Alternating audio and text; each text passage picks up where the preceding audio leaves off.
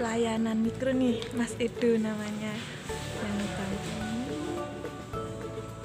thank you